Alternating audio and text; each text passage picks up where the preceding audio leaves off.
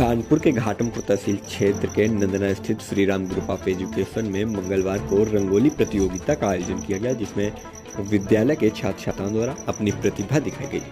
रंगोली प्रतियोगिता के आयोजन में छात्र छात्राओं ने बढ़ चढ़कर हिस्सा लिया, जिसमें छात्र छात्राओं ने एक से बढ़कर एक रंगोली बनाई, जिसमें श्री राम ग्रुप के चेयरमैन मनोज भदौरिया द्वारा छात्र छात्राओं को बनाई गई रंगोली की साज सज्जा देखी गई, जिसके बाद रंगोली प्रतियोगिता में प्रतिभागी छात्र छात्राओं को Shri Ram group of education के चेयरमैन मनोज भदौरिया द्वारा प्रतीक चिन्ह देकर सम्मानित किया गया। चेयरमैन मनोज भदौरिया ने कहा कि किताबी ज्ञान के साथ सर्वांगीण विकास के लिए सभी कार्यक्रमों में भागीदारी ज़रूरी है। उन्होंने छात्र छात्राओं को प्रतीक चिन्ह देकर सम्मानित किया।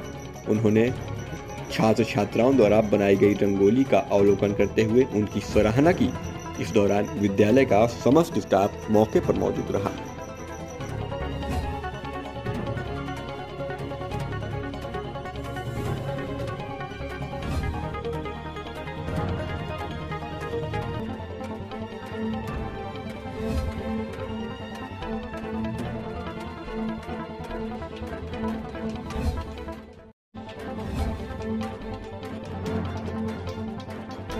राम ग्रुप ऑफ़ एजुकेशन के सभी इंस्टीट्यूशंस में इसमें श्री राम इंटरनेशनल स्कूल्स में और पुरुषोत्तम श्री राम डिग्री कॉलेज के स्टूडेंट्स द्वारा धनतेरस के अवसर पर।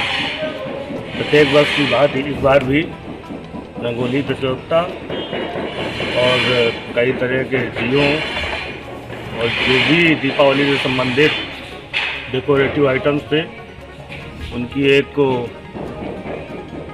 कहते हैं ना कि प्रतियोगिता जिसमें सभी बच्चों को फ़र्स्ट सेकंड थर्ड प्राइजेस दिए गए, रंगोली के प्राइजेस दिए गए, जिसमें बहुत ही सराहनीय कार्य रहा बच्चों का, बड़ी मेहनत और बड़ी ताकत और हिम्मत के साथ, लगन के साथ और अच्छा प्रयत्न रहा बच्चों का।